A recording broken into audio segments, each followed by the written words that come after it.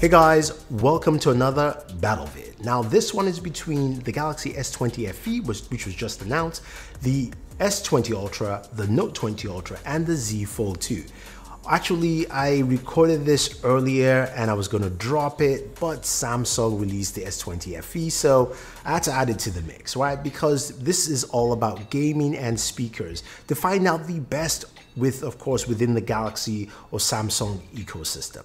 Now, the one thing that's common with all devices is that uh, they all have a variant of the Snapdragon 865 processor, uh, with, of course, the FE and the S20 Ultra having the 865, the Note 20 Ultra and the Z Fold 2 have the 865 Plus. In terms of RAM, they vary from between 6 to 12, depending on the device.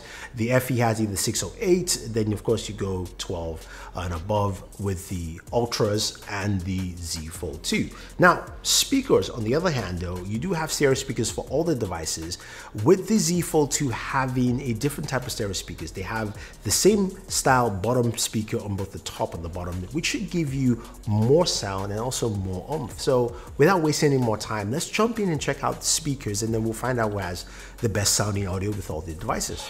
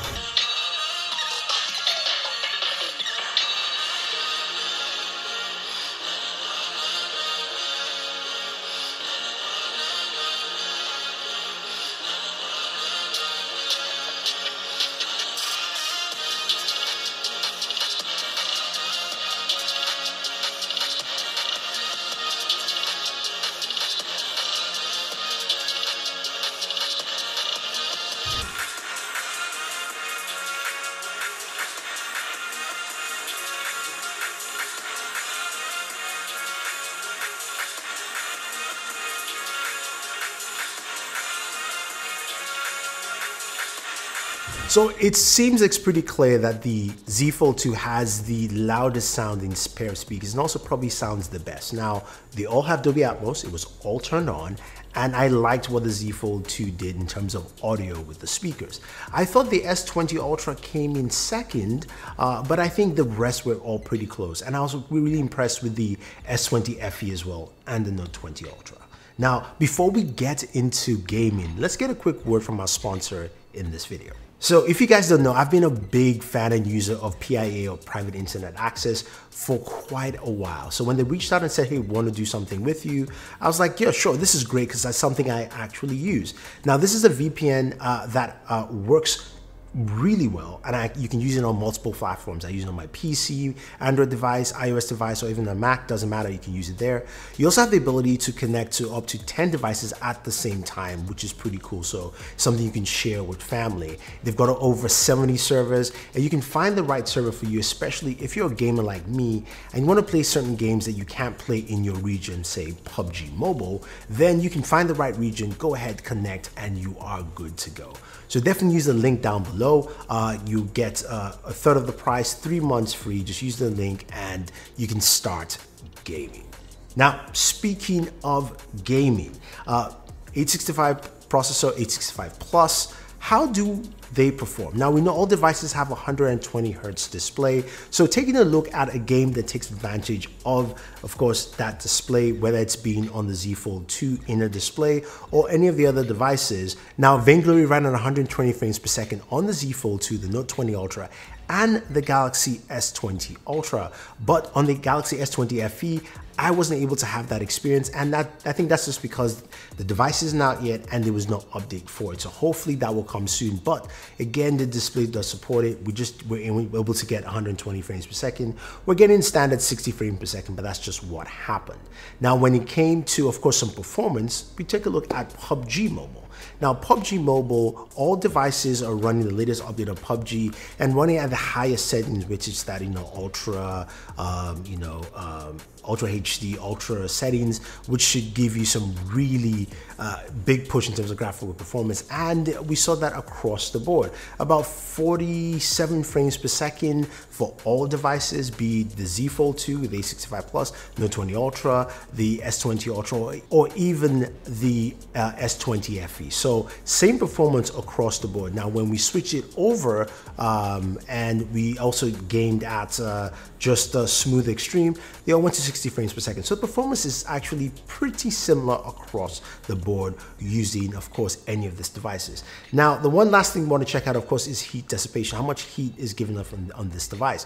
Now, this is where I found things quite interesting. I'll start off with the hottest device, and that was the Galaxy S20 FE. Yeah, the FE ran the highest temperatures about 104 degrees while playing PUBG, and that's something that I found quite interesting. Samsung didn't mention any special cooling, so I can give them, you know, a pass on that. While the Note 20 Ultra with the special cooling went up to 103 degrees, so that was quite interesting. I don't know if it's the copper cooling or it's a different one. I am not sure, but that's what I got with my readings while actually gaming on PUBG for roughly an hour or so on, on any of the devices. Now, the next was the S20 Ultra with about 98 to 99 degrees in terms of temperatures, uh, and I was quite impressed to see to see those temperatures. And the Z Fold 2, yes, you know what? If you're going to be the most expensive device, have the best cooling possible. It was about 97 degrees.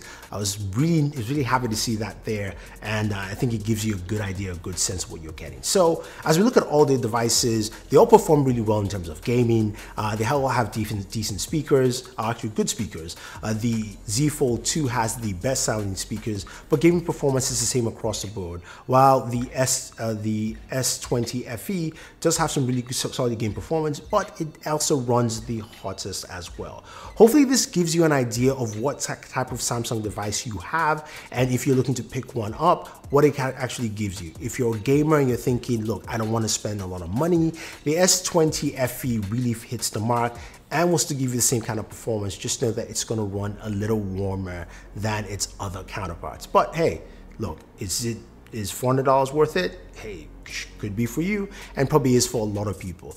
Anyway, guys, thank you very much. Don't forget to like and share this video. Definitely check out our sponsor again for this video, uh, PIA Private Internet Access. Use the link down below to sign up.